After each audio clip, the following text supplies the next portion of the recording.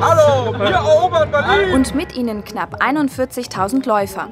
Am frühen Morgen pilgerten viele vom Potsdamer Platz Richtung Startpunkt vor dem Brandenburger Tor. Kurz vor dem Lauf waren die Teilnehmer ziemlich aufgeregt. Ich denke mal, es ist der größte in Deutschland und deswegen freue ich mich schon drauf, weil es heute mein erster ist. Und 41,195 Kilometer lagen nun vor ihnen. Aber für die Teilnehmer und besonders für die Berliner stand fest, dabei sein ist alles. Und das mit lautstarker Unterstützung von Freunden und Verwandten. Wir feuern jetzt erstmal jeden an, der hier vorbeikommt. Und im ganz Speziellen bei den natürlich 18 Minuten.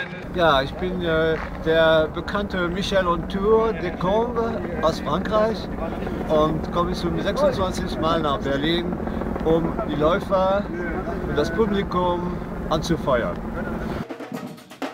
Entlang der Strecke feuerten Trommlergruppen die Marathonläufer kräftig an.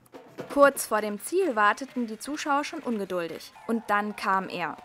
Frenetisch feierten sie ihren Liebling Haile Gebre Selassie, der nach 2 Stunden, 6 Minuten und 8 Sekunden die Ziellinie überlief.